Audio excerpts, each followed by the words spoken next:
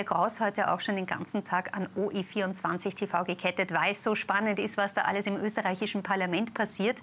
Wie bewerten Sie denn den heutigen Tag und die ähm, erwartete Aussage von Herbert Kickel? Wird da eine Bombe platzen, die der ÖVP wie ein Boomerang um die Ohren fliegt? Oder wird es womöglich dazu führen, dass Herbert Kickel einen ordentlichen Bauchfleck macht?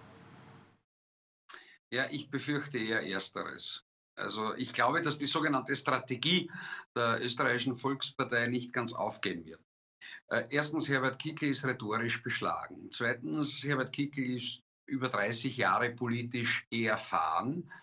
Äh, drittens, äh, Herbert Kickl war von 25 Jahren ÖVP-Regentschaft im Innenministerium exakt 17 Monate Innenminister. Das heißt, wenn die österreichische Volkspartei heute nach Postenschacher Amtsmissbrauch im Innenministerium fragt, fragt oder es wissen will, dann kann es durchaus passieren, dass Herbert Kickel auf Ernst Strasser, Wolfgang Sobotka, Johanna Mikl-Leitner, Karl Nehammer, Günter Plattner, Wolfgang Schüssel, Gerhard Kahner verweist und vielleicht das ein eine Art Plaudertäschchen wird und erklärt, wie er das Innenministerium vorgefunden hat, wo denn schwarze Politoffiziere gesessen sind und äh, wie er die Sicherheitspolitik der letzten 25 Jahre der ÖVP einschätzt. Also es könnte leicht passieren, dass das ein Schuss ins eigene Knie wäre.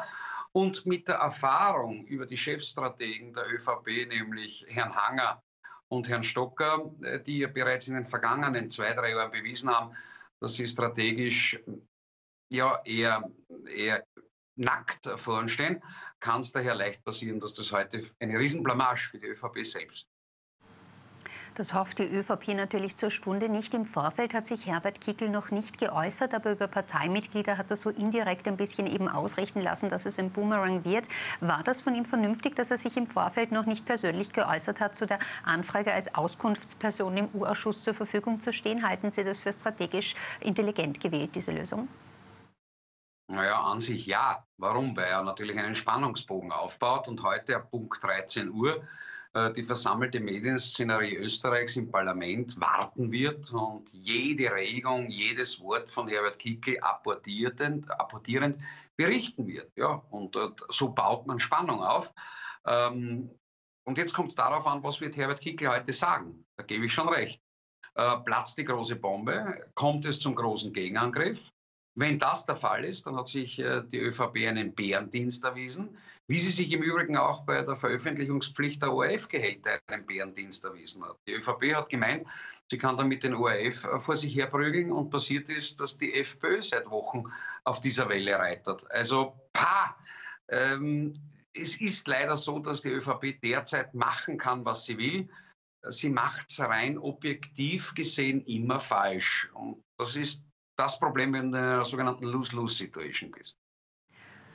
Jetzt ist natürlich auch Egisto-Auto ein ganz, ganz großes Thema. In dem U-Ausschuss heute im Vorfeld hat schon Diskussionen darüber gegeben, was darf man fragen, wie müssen die Fragen formuliert sein, was wird zugelassen werden oder nicht. Wird gerade Egisto-Auto und die Fragen zu ihm dazu führen, dass es heute hier zu solchen Verzögerungen kommt, dass die Fragezeit, die für Herbert Kickel anberaumt ist, eigentlich nicht für die wesentlichen Dinge der Fragesteller genutzt wird, sondern mehr für solche Verwaltungsfragen?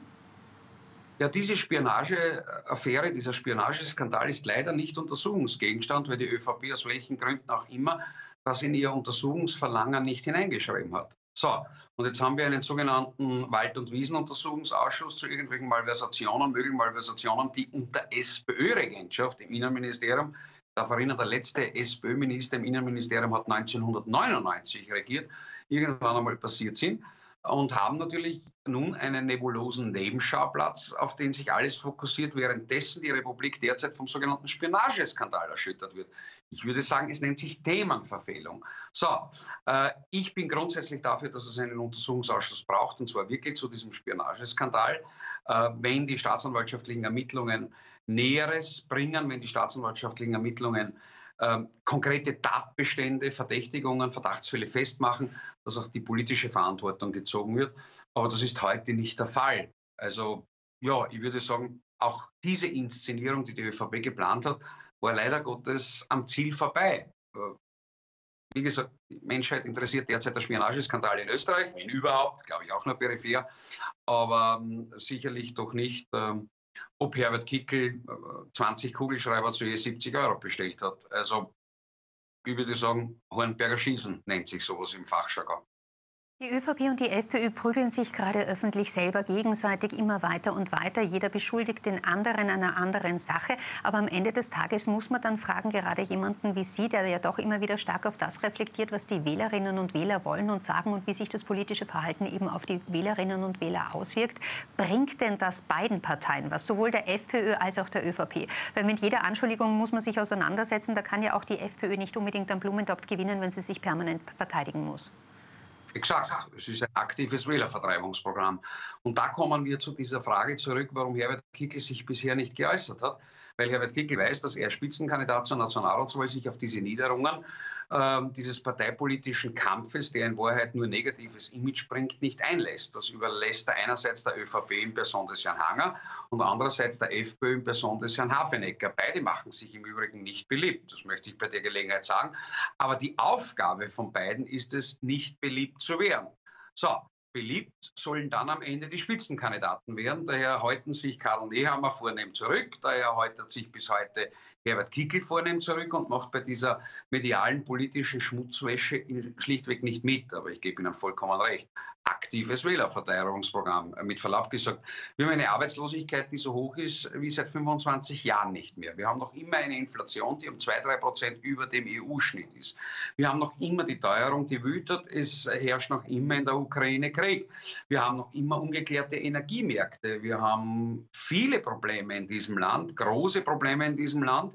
Und äh, der Wähler, glaube ich, die Bürgerinnen und Bürger haben dafür dann wenig Verständnis, äh, wenn sich, äh, wenn die Politik in dem Land Generalsekretäre machen, wo doch bekannt ist, dass das Wort Generalsekretär vom Wort Sekret kommt. Und das Sekret stinkt in diesem Fall zum Himmel. Ich muss noch mal kurz Bezug nehmen auf den Freundschaftsvertrag der FPÖ mit einiges Russland. Der wird ja immer wieder angeführt. Sie haben viele Themen gerade angesprochen, die den Österreicherinnen und Österreichern wesentlich mehr am Herzen liegen würden. Und dennoch hat man den Eindruck, dass die Medien und die Berichterstattung sowie die politische Opposition sich immer nur darauf interessiert, was ist denn eigentlich dieser Freundschaftsvertrag? Ist der wirklich so relevant? Ist das ein Politikum, das man sich auf den stürzt oder wie muss man dieses Thema werten? Naja, wir dürfen nicht vergessen, dass bis vor zwei Jahren und drei Monaten es en vogue war, dass man die Nähe zu Russland gesucht hat und die Nähe zu Wladimir Putin gesucht hat, weil man sich für den Wirtschaftsstandort Österreich gute Geschäfte erhofft hat. Ja? Also ich erinnere an das gemeinsame Foto von Wolfgang Schüssel und Herrn Putin auf einem Tiroler Skilift. Äh, fast romantisch. Honeymoon für Wolfgang und Wladimir. So, ich erinnere an die zärtlichen Worte von ÖVP-Wirtschaftskammerpräsident Leitl Richtung Wladimir Putin. Ich erinnere die Politschmuserei zwischen Heinz Fischer und Wladimir Putin. Ich erinnere an den Handkuss und das Kaffeekränzchen zwischen äh, Van der Bellen und Wladimir Putin. Ich erinnere daran, dass Christian Kern für eine russische Gesellschaft tätig geworden ist. Ich erinnere daran, dass ausgerechnet der ÖVP-nahe Unternehmer Sigi Wolf der größte Profiteur der Russlandsgeschäfte war. Also, ja, es ist so, äh, die letzten zwei Jahrzehnte, zweieinhalb Jahrzehnte hat sich die Welt und insbesondere Europa bei Wladimir Putin angestellt, im Übrigen auch die Amerikaner, um ihre guten Geschäfte zu machen. Das ist die letzten zwei Jahre en vogue, äh, nicht mehr en vogue und daher wird jetzt die Kontaktschuldiskussion gepflogen und jeder versucht die heiße Kartoffel, wer hat jemals Wladimir Putin die Hand gegeben, weiterzureichen. Ich äh, hatte die große Ehre, Wladimir Putin die Hand zu geben. Ich geniere mich nicht dafür. Das war im Rahmen des Begräbnisses für Thomas Klestil, wo Wladimir Putin als Staatsoberhaupt erschienen ist. Ähm, bin nach wie vor jetzt nicht begeistert, aber habe es durchaus spannend empfunden, mit einem russischen Staatschef äh, zu parlieren, zu sprechen, der perfekt Deutsch spricht und mir über seine Urlaubsaufenthalte im Burgenland erzählt hat und über seinen Einsatz in Deutschland. Also ich finde nichts Unanständiges dabei. Ähm, es ist eben zu dem damaligen Zeitpunkt so gewesen, wie es gewesen ist. Und äh, ich gehöre nicht zu denen, die ihre Vergangenheit ablegen. Viele andere tun es. Was noch schlimmer ist, sie versuchen, ihre eigene Vergangenheit auf andere zu projizieren.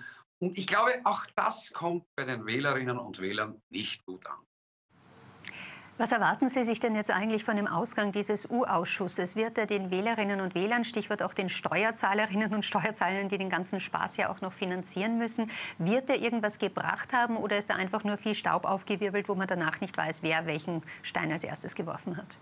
Ich möchte sagen, dass beide U-Ausschüsse, die derzeit laufen, nicht viel bringen werden. Der erste U-Ausschuss, der sogenannte COFAG-U-Ausschuss, ist für mich insofern falsch, weil es leider Gottes keinen gesamtheitlichen Corona-Ausschuss gegeben hat. Wenn wir nach Deutschland blicken und die sogenannten RKI-Files uns näher anschauen vom Robert-Koch-Institut, dann wäre es durchaus angebracht gewesen, in Österreich im Rahmen eines parlamentarischen Urschusses die gesamte Corona-Zeit der zweieinhalb, drei Jahre aufzuarbeiten. Die politische Verantwortlichkeit, die wirtschaftliche Verantwortlichkeit, die medizinische Verantwortlichkeit. Das wollten die Parteien nicht, sie haben sich nur auf COFAG beschränkt. Der zweite Untersuchungsausschuss ist in Wahrheit eine Retourkutsche für den ersten Untersuchungsausschuss. Das heißt, auch aus niederen parteipolitischen Instinkten erfolgt. Ich würde mir wünschen, wenn es in Zukunft, ja, in der nächsten Legislaturperiode, jetzt wird es sich nicht mehr ausgehen, weil die Sommerpause droht ja, die österreichischen Parlamentarier dürfen ja drei Monate lang wie Schwimmflügel anziehen und das Popschi im Neusiedlersee kühlen. Ja, die sind alle bei vollen Gehältern auf Urlaub drei Monate. Aber in der nächsten Legislaturperiode würde ich mir wünschen, wenn es einen Untersuchungsausschuss gibt zur Spionagetätigkeit in Österreich und einen tatsächlichen echten Corona-Ausschuss, wo wir die Corona-Zeit aufklären. Äh, das ist im Übrigen ein, ein, ein Appell, den ich an alle Parteien richte. Da haben sich alle nicht mit rumbekriegt. Wenn Sie jetzt gerade von Spionage sprechen, darf ich da kurz noch auf den Egisto-Ott-Fall kommen. Wie dramatisch schätzen Sie denn diesen Skandal für Österreich ein? Wie groß ist denn der Schaden, der da tatsächlich angerichtet worden ist, auch für die Reputation von Österreich im Ausland bei ausländischen Geheimdiensten? Ja, nicht größer als zuvor. Über Österreich lacht sowieso die Welt, also warum sollen sie deswegen jetzt nicht mehr oder nicht weniger lachen? Aber jetzt einmal grundsätzlich. Wir hatten ja zwei große Spionageskandale. Skandale. Der erste war äh, der dritte Mann, der zweite ist jetzt Egis Ott. Das nehmen wir so zur Kenntnis. Der erste Punkt, was willst du in Österreich spionieren? Ja? Dass die Regierung hauptsächlich aus Versagern besteht, das weiß jedes Kleinkind in dem Land. Äh dass wir ähm, Kasernen haben, weiß auch jeder dass unser Eurofighter viel kostet, weiß auch jeder. Dass nur die Hälfte der Eurofighter-Flotte überhaupt in die Luft steigen kann, weiß auch jeder. Dass unsere Panzer vor sich hin rosten, weiß auch jeder. Also einmal die Spionage, die sich gegen Österreich richtet, sehe ich nicht. Das, was ich aber sehe, jawohl, und das ist sehr gefährlich, ist, dass ja Österreich ein Teil der Europäischen Union ist und ein Teil natürlich der, des westlichen Staatenverbundes. Und dass hier spioniert worden ist, nach westlicher Technologie, nämlich Technologie, die wir uns in Österreich auch mit den Amerikanern, mit den Franzosen, mit den Briten oder den Deutschen teilen. Und dann wird es gefährlich. Dann wird es nämlich wirklich gefährlich, wenn ausgerechnet ein neutraler Staat dazu missbraucht worden ist, ja? nicht nur Aufmarschgebiet für Spione zu sein, sondern offenbar selbst im eigenen Pelz Spione genährt zu haben. Das gehört aufgeklärt. Und die Verantwortlichen gehören einer Konsequenz zugeführt. Und da gibt es im österreichischen Strafgesetzbuch das schärfste Delikt, das nennt sich Hochverrat. Und ja, gegen das eigene Land, im eigenen Land für ein anderes Land zu spionieren, ist für mich tatsächlich Hochverrat. Am Ende des Gesprächs darf ich jetzt noch einmal auf den Urschuss direkt zurückkommen. Er hat ja den Titel Rot-Blauer Machtmissbrauch. Wir haben heute mehr oder weniger Halbzeit. Mittlerweile hört man seit Beginn an eigentlich nur von blauem Machtmissbrauch. Glauben Sie denn, dass es überhaupt noch zu Agenten kommen wird, die einen roten Machtmissbrauch betreffen? Der Untersuchungsausschuss ist in der Halbzeit und bis jetzt ist nichts herausgekommen. Das heißt, der Untersuchungsausschuss wird nach hinten ausrennen.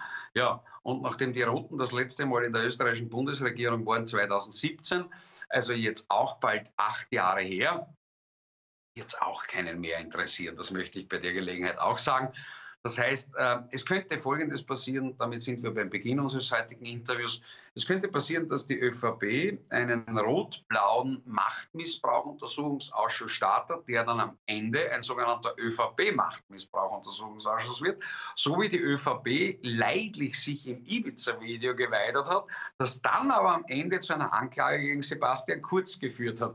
Das entspricht folgendem Spruch. Wer anderem eine Grube gräbt, fällt meistens selbst hinein. Und äh, dieser Spruch begleitet jetzt die ÖVP seit gut fünf Jahren. Herr Kraus, heißer als das Wetter am Wochenende ist heute nur der Stuhl, auf dem Herbert Kickel Platz nehmen muss, wenn er im U-Ausschuss ist. Ähm, apropos Hitze, was werden Sie denn tun in den kommenden Tagen, wenn wir noch einmal so richtig Sommerstimmung im April haben? Haben Sie sich da schon überlegt, wie Sie sich abkühlen wollen? Rasenmähen. Rasenmähen. Heute Rasenmähen, und am kommenden Dienstag Sebastian, Kur äh, Sebastian Bornmähner, nicht kurz, die Haare mähen im OE24-Studio. Ich freue mich drauf.